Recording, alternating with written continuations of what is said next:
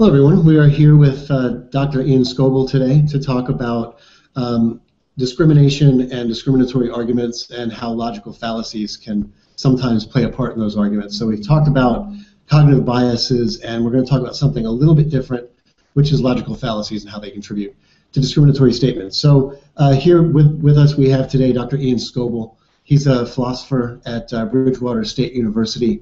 Uh, he's written, among other things, a book called Deleting the State, which is a work of political philosophy. He's also co-edited um, two books about popular culture and philosophy. One is Woody Allen and philosophy.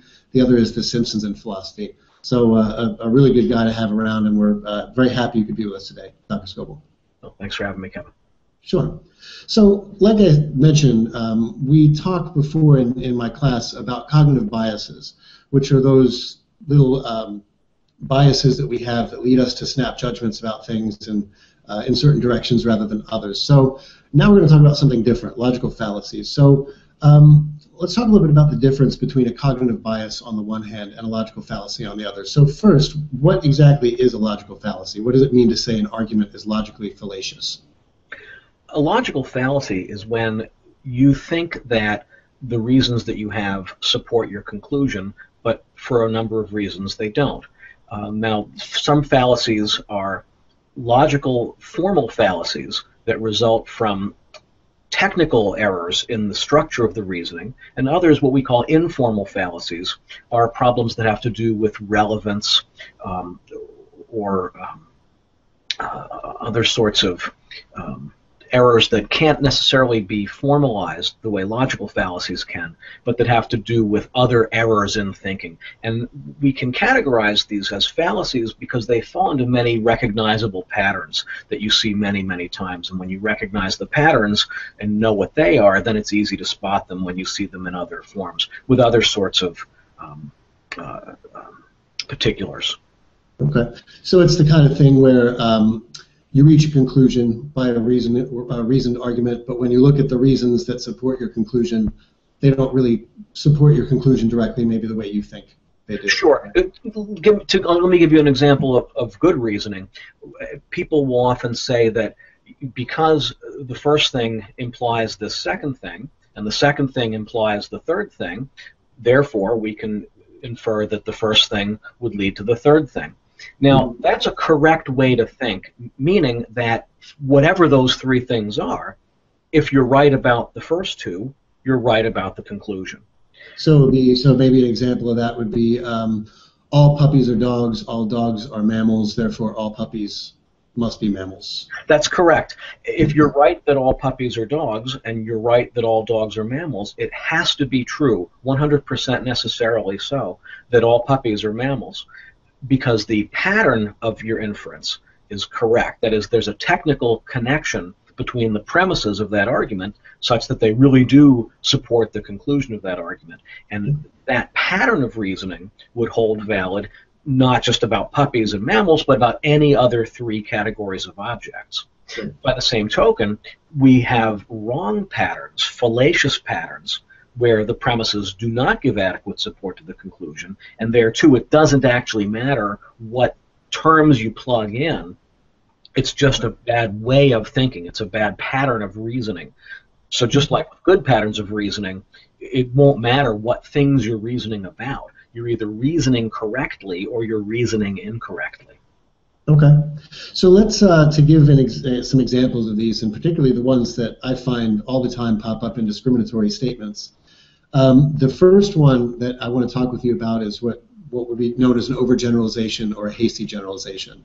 So I think it's a pretty clear example when you look at it of something where you might reason from a certain set of premises, but does, the premises don't support the conclusion. So you might have something where um, you say, uh, let's say, um, uh, you know, uh, this particular Asian is good at math, that particular Asian is good at math, all of these Asians are good at math, therefore all Asians are good at math. Right. That's where stereotypes often come from, is from generalizing uh, over too small amount of cases. Now, the problem with this is we generalize all the time, but sometimes when, when we make universal claims, we have better backing than other times. For example, if you look in your university's uh, fact book and find out that uh, you know 90% of your students have such and such a property, then you're really not on ter- terribly bad ground when you assume that this particular student is like that. You could be wrong, of course, but if 90% of them are like that, that's a good guess. But a lot of times we generalize based on a far smaller number of samples. We have two or three cases, and they stick out in your mind, and then we say, oh, well, it's all like that. And, and that's not supportable. Um, right. So the thing about generalizations is, unless it's 100% of the time, you could always be wrong. For example, um, uh, at my institution, the vast majority of our students are from our region. So if I pick out any one of the students at random and say, oh, well, I bet this person's from, from the region, that's a good bet. But it could be mistaken. We've graduated students from all 50 states. So there's no way for me to know that that particular student is one of the 1% that doesn't fit the profile. But it's even right. worse when the percentages don't even support your claim. So, for example, if I said, well, I'll bet this student um, has a particular religion, or I'll bet this student has a particular set of political views, or something like this, uh, that's not even well supported. Often what we do is we say, well, you know, I, I went over there three or four times and such and such happened to me. And then I assume on the basis of that that it's always going to be like that, or that everybody there is going to be like that.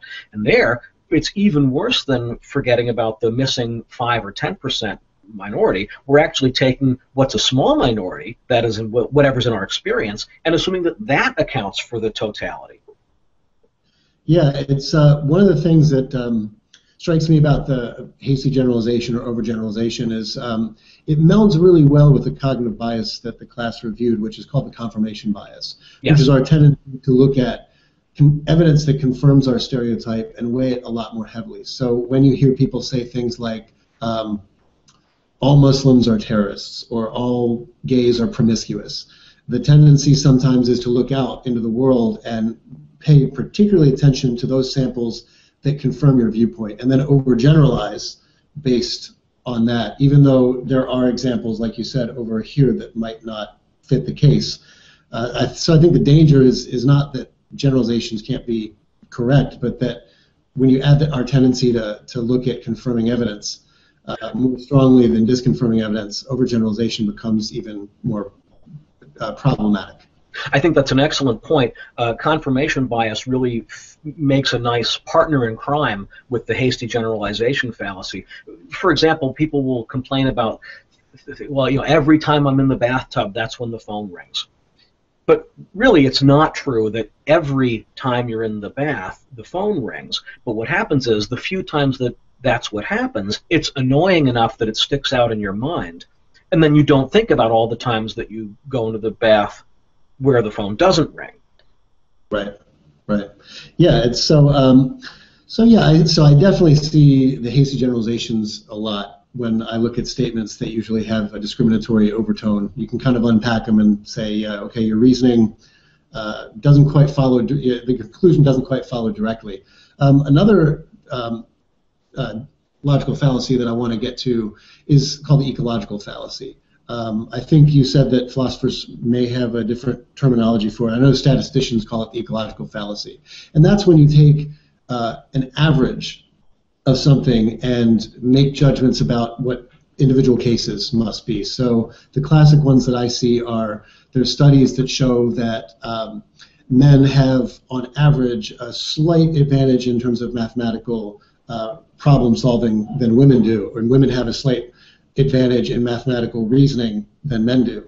Um, so people then take the average, and it's a small difference in the average, and say, ah, well, that means men are better at mathematical reasoning. Then, and even worse, then they'll say, well, therefore, this particular man must be very good at something, right. and I can just assume that this man will be better than this woman, or something like this. Right, right. So, um, so what exactly is um, how would we define what's wrong with? Well, I think part of the problem there is in confusing what is true of the aggregate, what is true of an entire group looked at as a group, and then picking out some particular member of that group and saying, well, so therefore anything that's true of the entire group as a group has to also be true of this individual member of the group. Now, there's times when we re- again many fallacies get their traction by hooking into something that is a good way of thinking. For example, if all humans are oxygen breathers, then when I pick out some particular human and say, ah, well, I bet this one uses oxygen, that's actually correct, and that's a good inference. What's true of the entire group of humans, oxygen breathing, is going to be true of any particular human. But some properties can only be truthfully ascribed to whole groups and not to individual elements. For example, you would say of a large building, wow, that building is huge. But it wouldn't follow from that that every brick used to make the building is huge. Right? Mm-hmm. So being huge is true of the whole building, but isn't true of the individual bricks that make up the building. So it has to so whether you can go from the group to the individual legitimately Right? My first example was a legitimate example of doing that. All the humans use oxygen, therefore Bob must use oxygen. Right? Versus the times when it's not legitimate, the building is huge, therefore each individual brick is huge. Uh, has to do with what kind of a predicate it, it is, and whether it's the kind of predicate that can be ascribed to individuals or only to groups. So when we talk about descriptions of large entities, the building is huge that's not the kind of predicate that applies to the individual parts that make it up. In, in logic, we call this the fallacy of division. Um, so, and this is this is what happens when people uh, take statistical averages and, and mistakenly apply them to people. This is why, for example, none of my friends have 2.5 kids even though uh, the statistical average of amount of children people have or each family has is 2.5. Exactly. It's true. It's true. The average exactly. Six. average is 2.5 kids, but no actual person has 2.5 kids.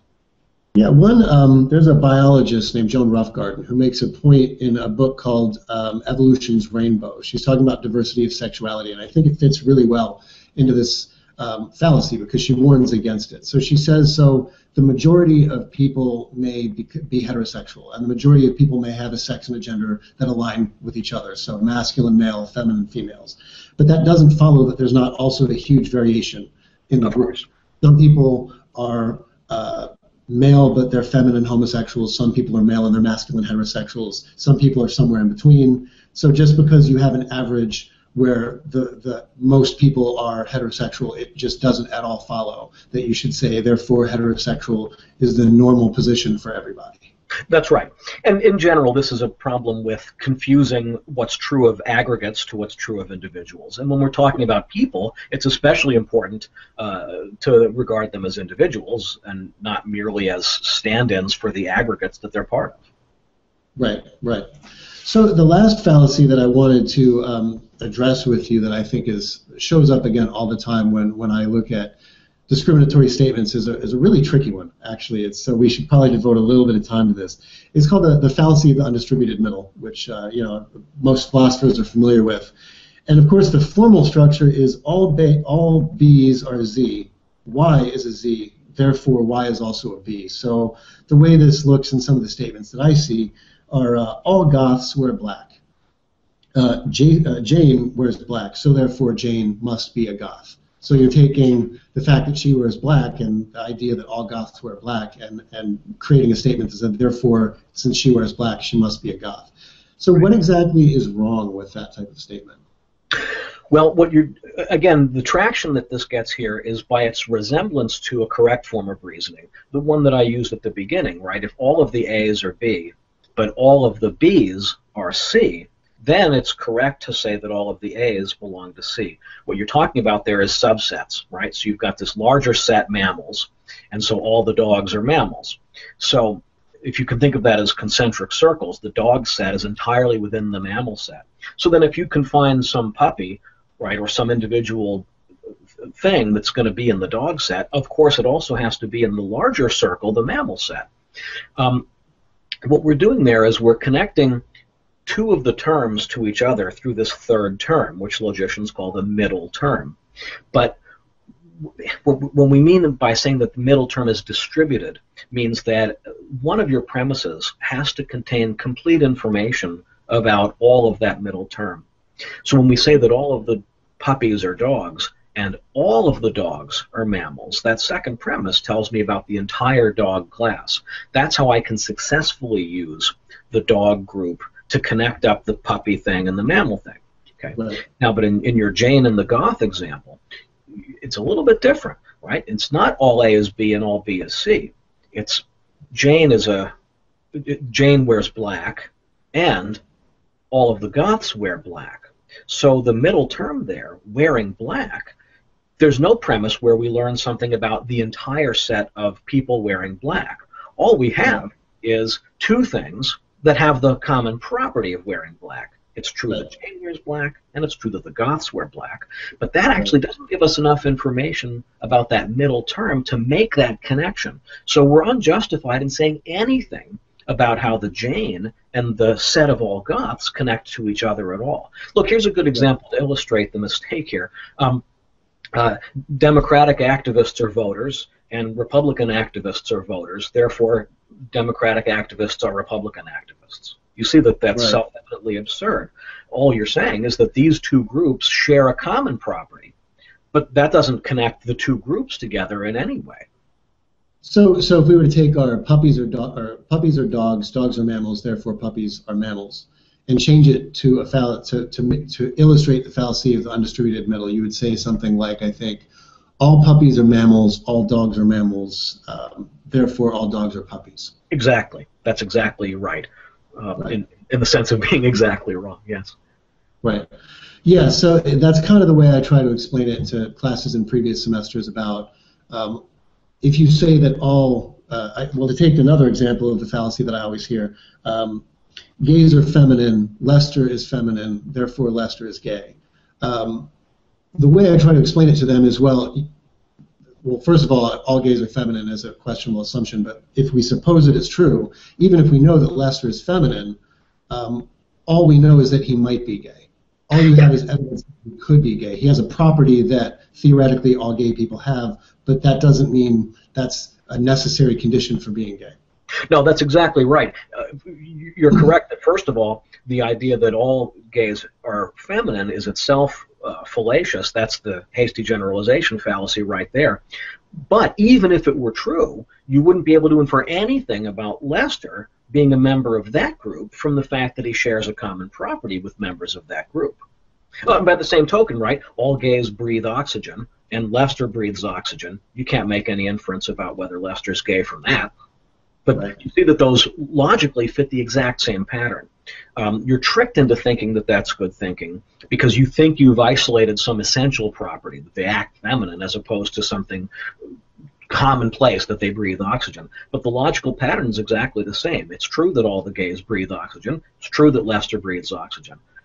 But sure enough, you can't draw any conclusion about Lester's membership in the group just because they share this common property of breathing oxygen. But if that's bad thinking, so's the other example. Right.